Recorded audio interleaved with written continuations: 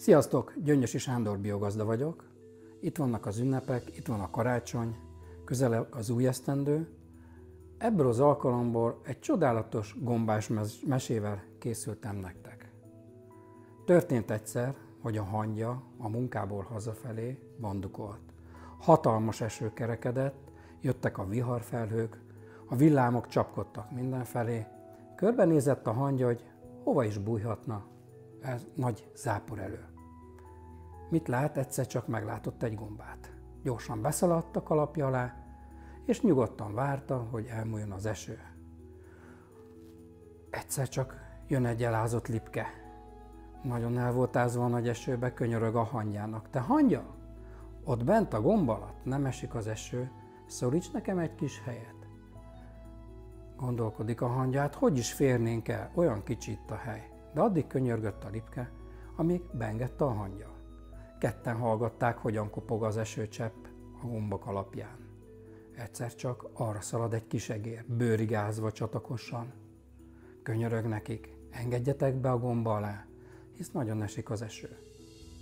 Gondolkodtak, hogy hogyan engedhetnék be ugyanis, nem férnek. Megesett a szívük rajta, és mégis beengedték. De az eső az egyre jobban esett. Arra repül egy veréb, csivitel, csiripel, bőrigázva, engedjetek be, az összes tollam elázott, fázok már kint, esik az eső. Gondolkodnak, hogy hogyan is engedhetnék be a verebet, hisz már nincs hely. De csak megsajnálták, összép húzóckodtak, és beengedték a verebet is. Egyszer csak szalad arra egy nyúl, lélek szakadva, liheg, bőrigázva. Engedjetek be, engedjetek be, üldöz a róka, bőrig vagyok ázva, nem tudok hova menekülni. Gondolkodnak, hogy hogy tudnák beengedni, hát nem férnek el. De összehúzóckodtak, és beengedték a nyulat is. Egyszer csak megérkezik a róka, szintén bőrigázva.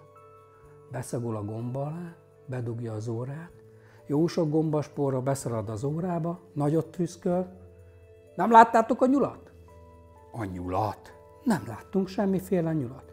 De a nyúl erre szaladt. Nem láttátok? Nem láttuk. Gondolkodik a róka, nem érezte a nyúlszagát. Visszafordult, és elsonfordált. Közben az eső is csillapodott, majd elállt. Szépen kijöttek a nyúl, a veréb, az egér, a lipke és a hangya. És azon gondolkodtak, hogy hogyan férhettek el a gomba alatt.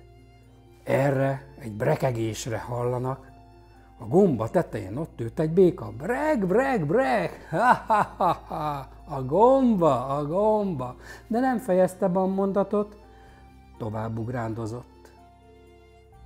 A többiek elsétáltak, de a hangja még akkor is hátrafordult, és akkor látta, tényleg, a gomba. Hm, megértette, hogy hogyan fértek el alatta. Hát fogadjátok sok szeretettel tőlem ezt a kis mesét. Békés boldog ünnepeket kívánok!